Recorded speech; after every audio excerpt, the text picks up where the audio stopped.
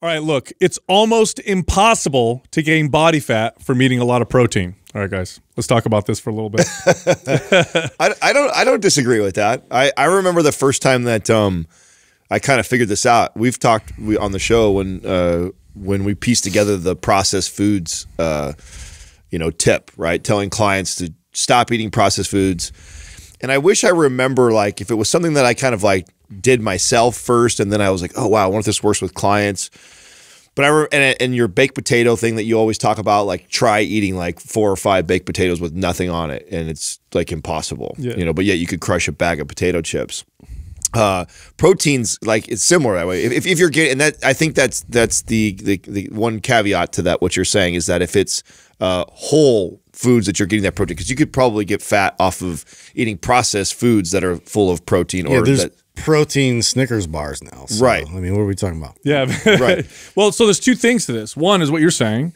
Protein is extremely satiating. It's really hard to just overeat a lot of protein because it just you hit a wall. You don't want to eat more. This is what if you ever talk to anybody who's ever done a carnivore diet, they'll tell you like I just I can't eat anymore. That's the biggest issue is like really trying to be able to eat enough calories. It's it's really difficult. You get so full and uh and it's just like it's just too much to where I, I'm not even hungry after. Well, do you guys remember half when, the calories? when we all went on the ketogenic diet way early on? So before we had, I think it was before we even had Dom on the show, and we were, it was just getting kind of popular. And we our did a high protein version. Mm-hmm. and we, um, and then we all decided we'd run it and we'd do it. And I would just happen to be in the middle of like still, I think just wrapping up competing even. Or you were was- trying to bulk. Yeah, I was I was in a bulk and I was like, okay, well, let's just try and do this. And I remember I just how hard it was. And that's kind of what made me kind of throw in the towel was, dude, I just I'm not able to eat 5,000 calories of just proteins and fats. Like you fill up so fast. Yeah, so there's two parts to this. So first off, I, I do want to be clear: if you eat more calories than you burn, you will gain uh, body Yeah, fat. that's science. Right, that's science. but here's why I made that statement about protein. One is what we just talked about. It's incredibly satiating, so it's hard to overeat protein in comparison to carbohydrates and fats. But number, especially carbohydrates. But number two, they've done studies where they've bumped people's calories through carbohydrates, fats, or just proteins.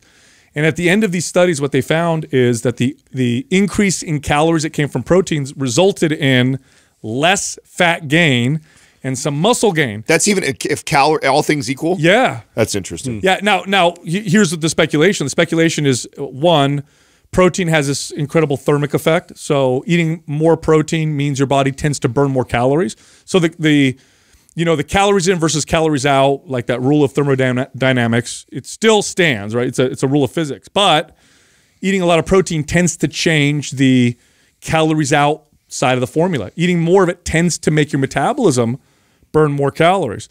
And then the second part is we all know that, and, and again, this is clear in studies as, uh, as well. Eating a higher protein diet tends to lead to more muscle gain. And what does more muscle do? It burns more calories. So if you're eating a lot more protein eh, versus other the other macronutrients, and your calories are high, you're less likely uh, to gain body fat in comparison to the others, and or it's gonna be hard to eat a lot more when it's just protein. Now, is there still information out there that's like sort of deterring people from this in terms of like the mTOR and like can- cancer sort of being a scare with that? Yeah, so uh, so mTOR is uh, mammalian target rapamycin. I think I'm saying that right. And this, Because I remember these things. yeah, it's just Mammalian. Yeah, listen, I don't remember a lot of things. It's funny. it's like uh, I'll be with my family and they'll ask me certain questions. I'll be like, I have no idea, and I'll remember something random. Or we'll have a It's just meeting, a meeting, and just- 30 minutes later he forgets what he's supposed to do afterwards. Uh, completely. So, and it's a skill that's good for podcasting. So, thank you, God, for this. this help me find this. Oh, it's perfect. This career. Yeah. Uh, anyway, so this particular, um, you know, mTOR signals muscle growth, but it drives the growth of a lot of things. If you spike mTOR when you have cancer, you'll probably accelerate the growth of cancer. So people will say things like high protein diets will increase your risk of cancer. Not true. By the way, carbohydrates also feed cancers, and even fats in some cases, although not as often, can feed some cancer. So there's a difference between a environment where cancer is present and in, and in a healthy environment. In a healthy environment, and by the way, if you have cancer, a lot of things change. There's a lot of things that you need to change and modify. In some cases, they'll put you on hormone blocking drugs and other things, which which normally would be a bad thing. So that's the thing to consider. But when you're healthy, in the studies with healthy people, high protein diets um, are not only perfectly healthy. In fact, a study just came out showing that in older populations, higher protein diets are connected to lower causes of all to lower risks, excuse me, of all cause mortality. Again, probably because higher protein diets result in in more strength gains or at least strength preservation. And we know now how strongly connected strength is to all cause mortality as you age. The stronger you are when you're older, the less likely you are to die from, you know, from all different causes. Well, this is where that that tip comes from too, where we tell people to eat, eat protein first. So you sit down and you get your Yes. your plate instead of filling up on the bread or the chips.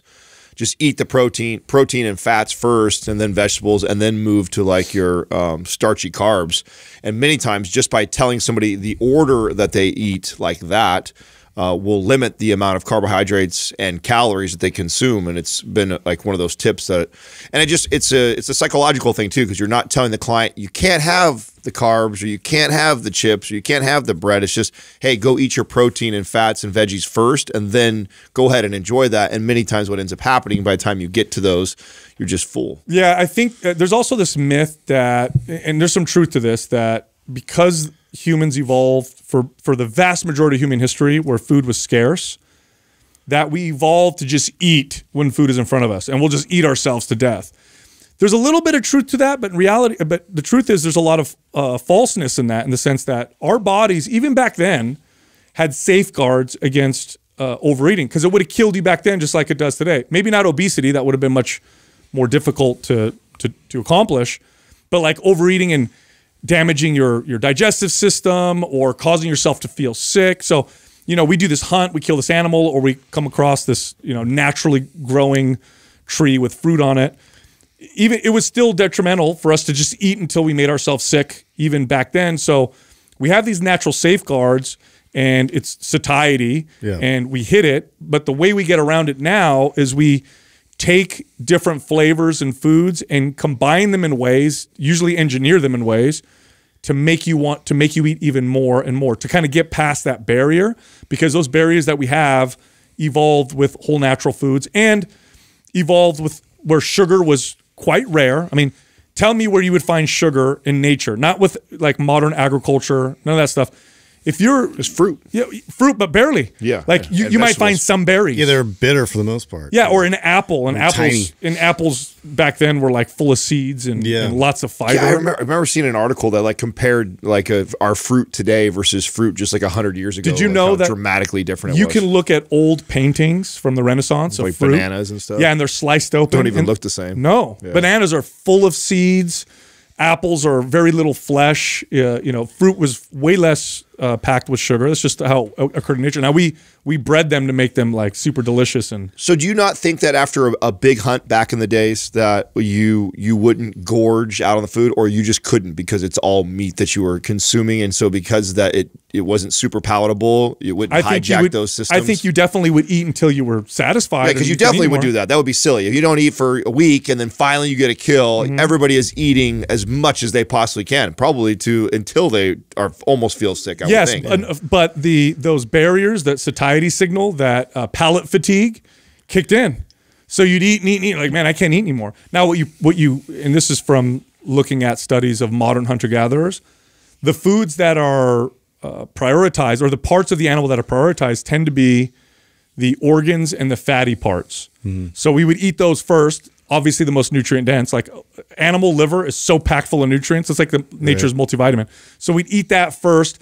Eat the fatty parts first, and then all the lean tissue was leaf was left. Uh, you know, for later on, or or if it went bad, it went bad. I mean, in fact.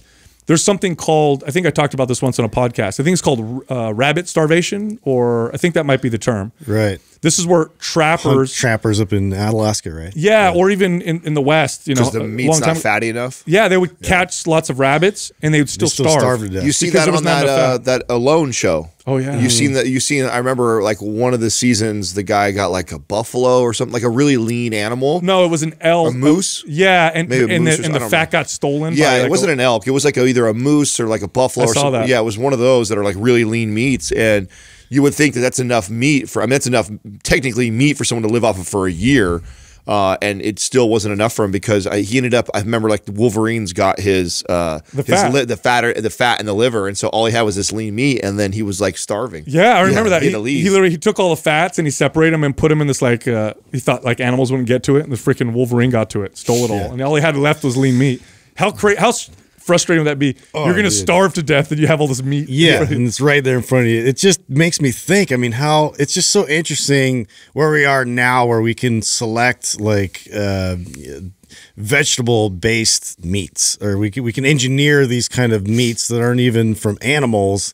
How how do you even get satiated from that? Yeah. How do you even get that signal? It's like to me, it's interesting. Like, is it mainly from nuts and from beans? And it's like that's like for like a vegan, like that's got to be really difficult to ever feel like you're fully Dude, satisfied. You ever seen the the ingredient list on the like, Beyond Meat?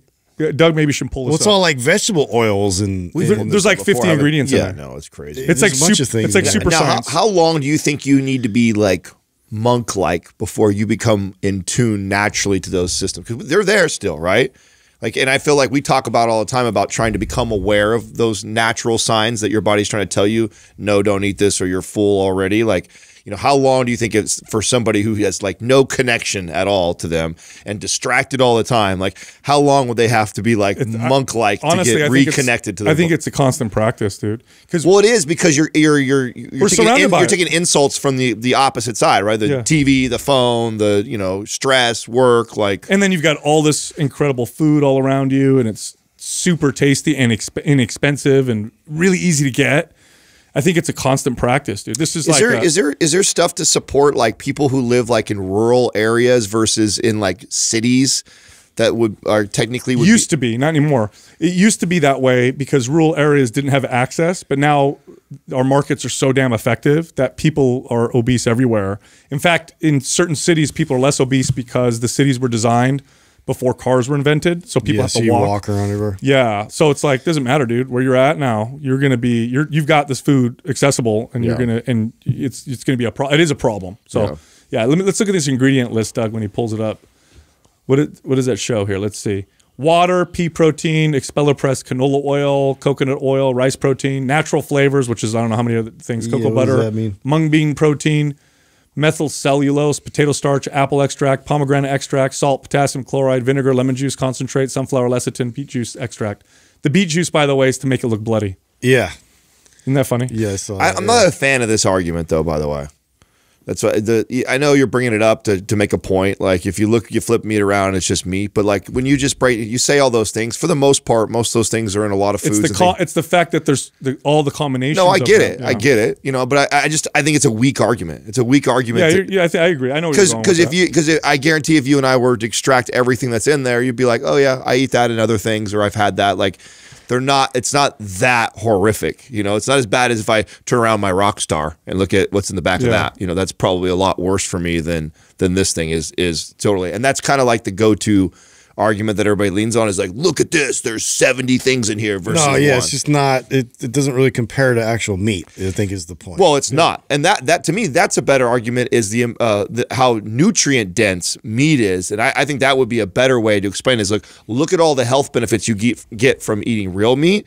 and show that versus okay, you can put all these things in here to try and emulate this, but look at the the value of this versus. To me, that's a better argument than the look what's in it like scare tactic to how much stuff. you know is what's in it. funny? It's uh, the the demise of how we value meat really started happening once we started separating ourselves from the process of raising and killing meat. Mm-hmm. As soon as we separated that, you had these huge, you know, slaughter factories with animals being, you know, run through and treated a certain way and pumped full of hormones or whatever because we're not connected to it. Yeah. And then people never kill an animal themselves, so they have no respect for it. And they go to the grocery store and they just see the meat in the plastic. And then because they have no respect, uh, they don't understand the value, and so like I'm not going to eat meat anymore. And a lot of people run into problems with that because you have to be more. You can definitely be vegan and be healthy for sure.